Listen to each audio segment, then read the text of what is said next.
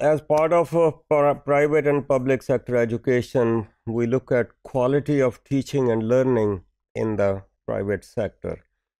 We see that quality of teaching and learning is uh, supposed to be the main factor for the rapid growth and acceptance of private educational institutions of Pakistan. So that could be one thing which is compared with the public sector education system اور اس میں اگر یہ چیز کو اچھی لگتی ہے then they trying to patronize these private sector schools اور اس ان کی گروتھ کی وجہ یہی ہے اور یہ جو پرسیپشن ہے کہ پرائیویٹ سیکٹر کے جو ایجوکیشنل انسٹیٹیوشنز ہیں، وہاں کوالٹی جو ہے it is better than what we see in the public sector schools اب یہ ایک امیج ہے، یہ ایک امپریشن ہے this perception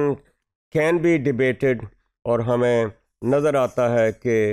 اچھی بلڈنگ ہونے کے باوجود ضروری نہیں ہے کہ وہاں پر کوالٹی آف ایجوکیشن ٹاپ کی ہو۔ اور جہاں فی بہت زیادہ لی جاتی ہے، وہاں تو ہم ایکسپیکٹ کر سکتے ہیں۔ لیکن اس میں اگین بہت ساری چیزیں نظر آتی ہیں۔ سو جو اچھے اسکول ہیں ہائی کاسٹ اسکولز ہیں، جن کو چین کے حساب سے چل رہے ہیں،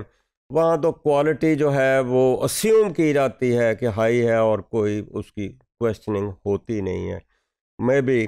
higher the fee that might be a proxy for the quality of that educational institution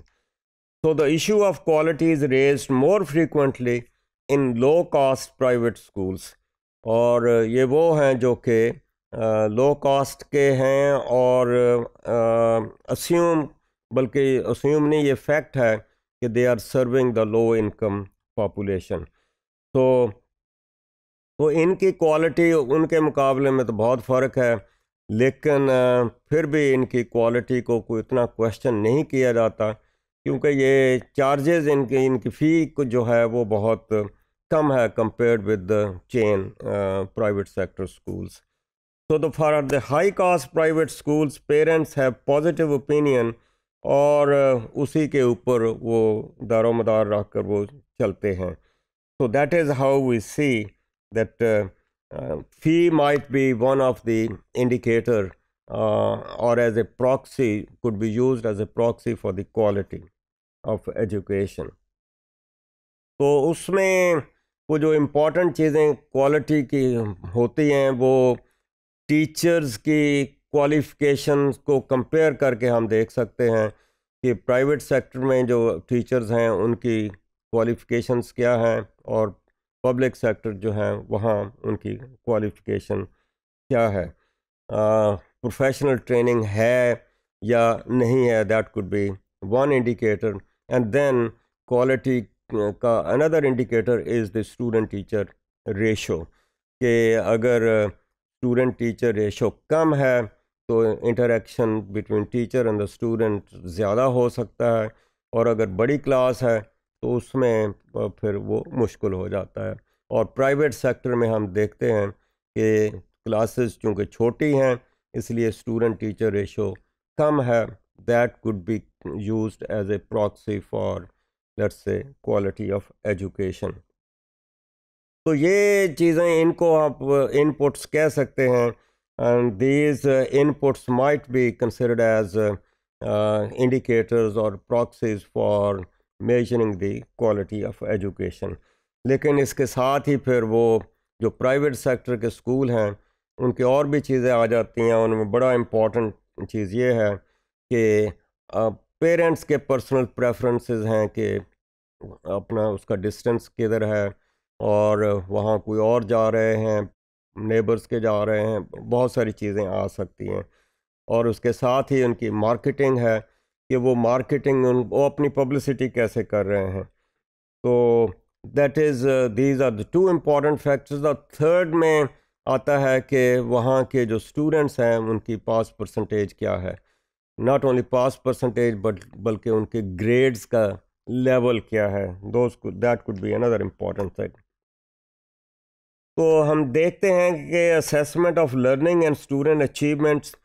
shape an idea of overall level of quality in private schools but they might present different pictures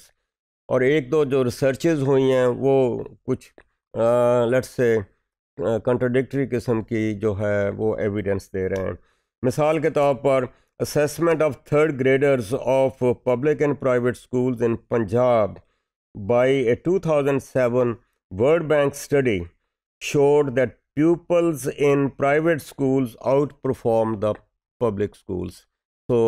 یہ اس کی support میں جا رہی ہے. لیکن ایک اور اسٹڈی ہم دیکھتے ہیں تو اس میں یہ بات نہیں نظر آتی. تو ڈیٹا فرام ادر اسٹڈیز اور اس میں اگزامپل ہے Punjab examination commission in Punjab and national educational assessment system nationally of انہوں نے اسیسمنٹ کی grades five to eight pupils اور اس اسٹڈی میں ہمیں یہ نظر آیا کہ there are marginal differences between the students performance from the public sector schools and the private sector schools تو وہاں کچھ بات نظر نہیں آئی۔ تو one could come across various discrepancies in these studies therefore four ہم کوئی کنکلوسیو جو ہیں بات اس کی طرف نہیں بات لے جا سکتے۔ Nevertheless private schools میں لوگ good only because the public schools performance جو ہے دیٹ از مزریبل اور اس کی وجہ سے پھر پریفرنس جو ہے، وہ پیرنٹ جو ہے دوسری طرف لے کے جا سکتے ہیں۔ اور پھر داخلے کے بھی میں بھی چانسز ہو ہو سکتے ہیں۔ لو انکم جو اسکولز ہیں، ان کا تو دار و مدار ہی اس پہ ہے کہ وہاں بچے آئیں۔ اور آئیں گے تو ان کا کاروبار چلے گا۔ یہ پرائیویٹ پبلک سیکٹر میں تو ایسی بات نہیں ہے۔ So that is how we look at the quality of learning in the let's private sector and public sector schools